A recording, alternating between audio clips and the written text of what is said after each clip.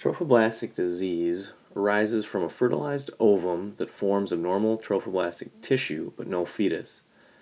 Gestational trophoblastic disease covers a spectrum of conditions with pregnancy as the common antecedent. The disease can occur in any type of pregnancy, including ectopic, full term, spontaneous abortion, and pregnancies resulting from in vitro fertilization. It is preceded by a molar pregnancy in 50% of cases.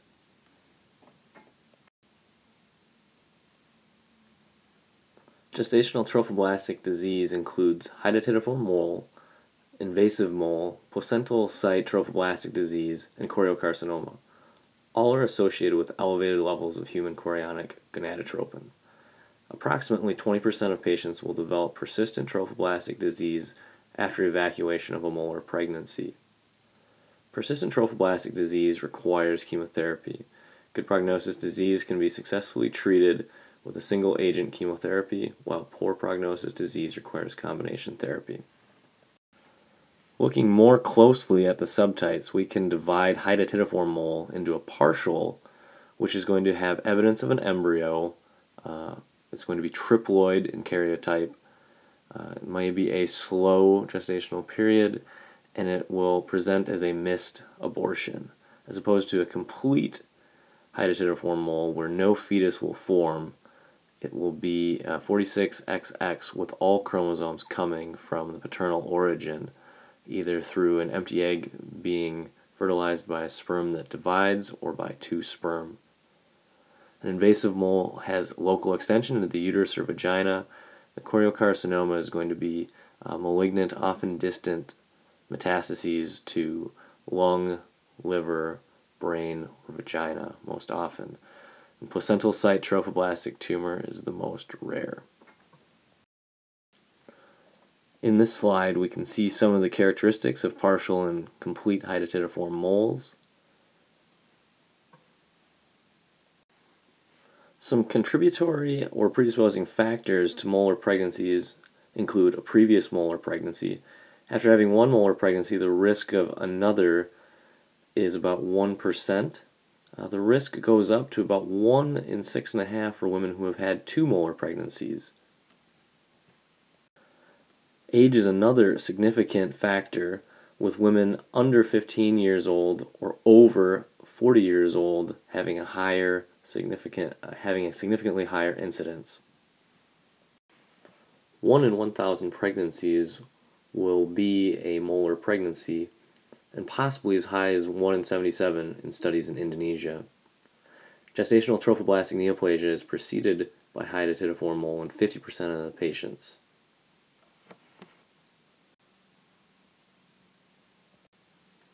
Symptoms and signs of hydatidiform mole. The most common symptom that will uh, be present in a hydatidiform mole is vaginal bleeding, occurring in 80 or greater percent of patients excessive uterine size for gestational age. Thecal lutein cysts of the ovaries may be detected by sonography or potentially by palpation. Other conditions such as preeclampsia, hyperthyroidism, and hyperemesis gravidarum may occur but are less commonly seen now as diagnosis of molar pregnancy tends to be made earlier in the course of gestation. Other symptoms may be missed or delayed period, or passage of aborted vesicular tissue. Uh, this is most common in a partial mole, but you may see grape-like mass in a complete mole. The differential for gestational trophoblastic disease and hydatidiform mole is going to include uh, the other causes of bleeding early in pregnancy, which would include spontaneous abortion, ectopic pregnancies, uh, prolapsed fibroids may present in this way, or other uterine processes. So what lab tests will we order in order to make our diagnostic decision? Uh, beta HCG is going to be uh, one of the best indicators. Uh, it can range from a high normal up to uh, over a million international units. And if this is paired with an enlarged uterus and vaginal bleeding, would highly suggest a diagnosis of hydatidiform mole. Complete moles will more often have a higher beta HCG level than partial moles. And also with an increase in beta HCG, there can be increased uh, thyroid hormone due to the cross reactivity and can result in symptoms of hyperthyroidism. Getting a CBC with platelets, clotting function labs are going to be important to rule out other uh, pathology related to clotting. Uh, getting a creatinine, a liver function test, and thyroid function tests are going to help rule out other diagnoses as well. Uh, the diagnosis is going to be largely supported by ultrasound transvaginally and transabdominally to look for a fetal pole and fetal heart. And uh, a preoperative chest radiograph is going to help identify potential metastases. So, in making the diagnosis of a molar pregnancy, uh, what are the treatment plans? So, a mole is going to require evacuation by suction curettage as well as a chemotherapeutic treatment. For non metastatic and good prognosis uh, malignant gestational trophoblastic disease, uh, methotrexate is the agent of choice with weekly doses of 30 to 58 milligrams per meter squared uh, as an intramuscular injection has been found to be the most cost effective treatment when taking efficacy, toxicity, and cost into consideration. However, a uh, triple therapy is more often needed in women who have poor prognosis malignant gestational trophoblastic disease and uh, this triple therapy will often include methotrexate as its main agent, paired with uh, a combination of dactinomycin, chlorambucil, or cyclophosphamide. There are several grading scales to score the risk of the uh, GTD. Uh, the FIGO score is considered to be uh, one of the best because it takes into account uh, some of the most uh, critical factors while leaving out uh, comprehensive lab testing. So therefore, it's very good across the world. So if we take a look at the FIGO scoring system, we can see that age uh, comes into a factor with uh, 39 being a cutoff point, antecedent pregnancy, uh, the different types of pregnancies that uh, have led into uh, this uh, situation, with a hydatidiform mole being uh, the least worrisome and a term pregnancy resulting in gestational trophoblastic disease being the most worrisome, getting a higher score. Um, the HCG uh, greater than 100,000 is going to get you a score of 4. Uh, tumor sizing, location of metastases, number of metastases, and uh, failure to respond to chemotherapy in the past will all add to your score. Uh, a total score of 0 to 6 is going to have a low risk, while greater than 7 will place you in a high risk category. In addition to the risk score, uh, gestational trophoblastic disease can be divided into the non metastatic and the metastatic. And here we take a look at the classification that the non metastatic gestational disease is going to have no evidence of metastases and therefore is not assigned to a prognostic category. Metastatic gestational trophoblastic disease is going to be any extrauterine metastases. A good prognosis metastatic GTD is going to have no risk factors. And you can see here that no mets to the brain or liver, uh, not a term pregnancy, and no prior chemotherapy. Poor prognosis is going to have any of those risk factors. Long duration since the pregnancy, a pre therapy, HCG level greater than 40,000, brain or liver mets, a term pregnancy leading into it, or prior chemotherapy. So here we take a look at some images of uh, moles with the upper left, lower left, and lower right being complete hydatidiform moles and the upper right being a partial mole.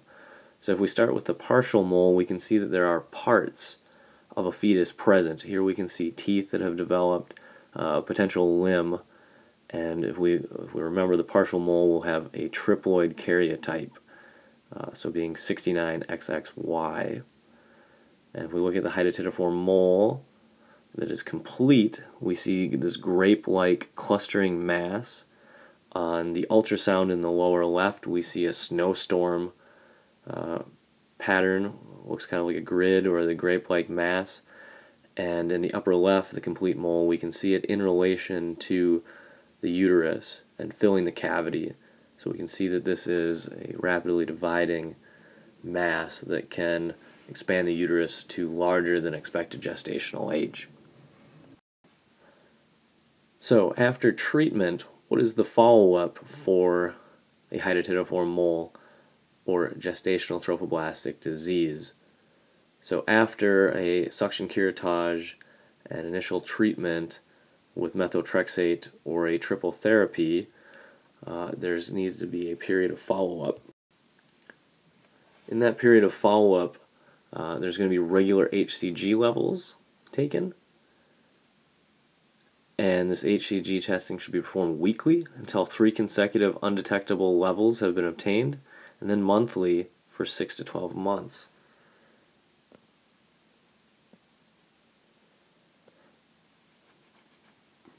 And uh, contraception should be used to prevent pregnancy uh, until 12 months of remission uh, because a subsequent uh, normal pregnancy cannot be differentiated from a trophoblastic neoplasia by an HCG assay. So therefore oral contraception uh, may be used unless there's a specific contraindication. Uh, physical exam including the pelvis should be performed every two weeks until remission and then every three months for one year. If it is noted that HCG titers reach a plateau or rise, this indicates a persistent or recurrent trophoblastic neoplasia, and referral to a gyne onc uh, is indicated at that time. So in review, um, hydatidiform mole and gestational trophoblastic disease um, so most often is going to arise from a molar pregnancy, with the complete mole being fertilization of an empty egg by a single sperm whose chromosomes reduplicate, a partial mole where a haploid egg fertilized by two sperm, and the rare causes uh, include a placental site trophoblastic tumor, which is very rare, 100 cases reported in the literature. So if we talk about some of ACOG's recommendations, um, a woman of reproductive age with abnormal bleeding or symptoms that could be caused by malignancy, uh, beta HCG levels should be evaluated to facilitate early diagnosis and treatment of gestational trophoblastic disease. In the case of a molar pregnancy, the preferred method of evacuation is suction D&C. After molar evacuation, all patients should be monitored with serial HCG determinations to diagnose and treat malignant sequelae promptly. Oral contraceptives have been demonstrated to be safe and effective during post-treatment monitoring based on randomized controlled trials. Women with non-metastatic gestational trophoblastic disease should be treated with single-agent chemotherapy, methotrexate. For women with the non-metastatic GTD, a weekly dose of 30 to 50 milligrams per meter squared of an intramuscular dose of methotrexate has been found to be the most cost-effective treatment when taking efficacy, toxicity, and cost into consideration. Women with metastatic gestational trophoblastic disease should be referred to a gyne-onc. And women with the high risk metastatic disease should be treated with a multi agent chemotherapy that will include methotrexate, dactinomycin, and either chlorambucil or cyclophosphamide. Any abnormal bleeding for more than six weeks following a pregnancy should be evaluated with HCG testing to exclude a new pregnancy or gestational trophoblastic disease. Uh, in compliant patients, the low morbidity and mortality achieved by monitoring patients with serial HCG determinations and instituting chemotherapy only in patients with post-molar GTD outweighs the potential risk and small benefit of routine prophylactic chemotherapy. Serious complications are not uncommon in women with uterus size greater than 16 week gestation, so they should be managed by physicians experienced in the prevention and management of GTD complications. So, this is uh, the end of our talk on gestational trophoblastic disease arising from uh, molar pregnancies. Thank you.